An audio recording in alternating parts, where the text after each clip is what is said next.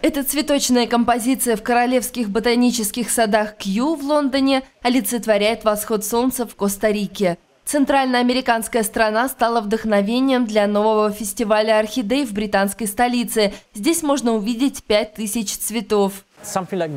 Такому люди рады всегда. Особенно потому, что эта выставка открывается в конце зимы, когда на улице еще пасмурно, идут дожди, холодно, и цветы в садах пока спят.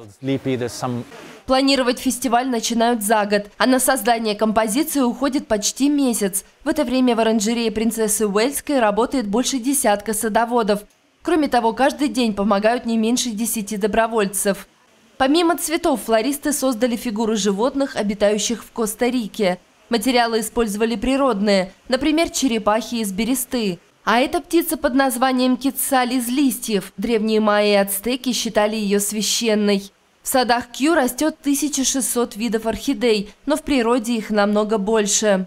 В мире насчитывается примерно 28 тысяч видов орхидей. Охранный статус определили для 2000 видов, и более половины из них находятся под угрозой исчезновения.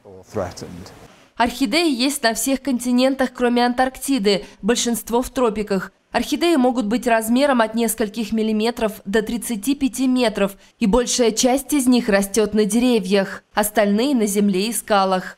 Сотрудники садов Кью сотрудничают с коллегами из Коста-Рики, чтобы помочь им сохранить в природе самые уязвимые виды орхидей. Выставка в оранжерее принцессы Уэльской будет работать до начала марта.